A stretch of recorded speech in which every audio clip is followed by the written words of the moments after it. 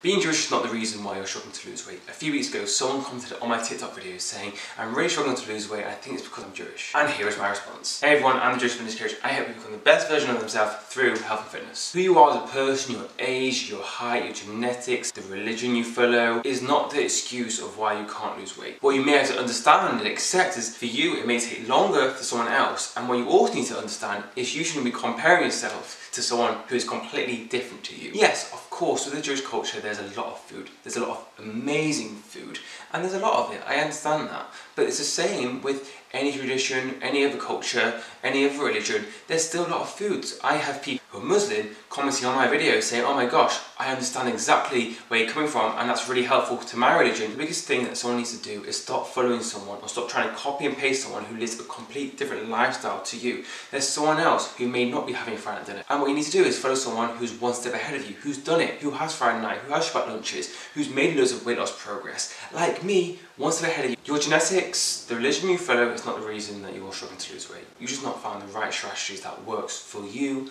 with your environment, with your lifestyle. That's why I want to follow me, so I can help you to that first step.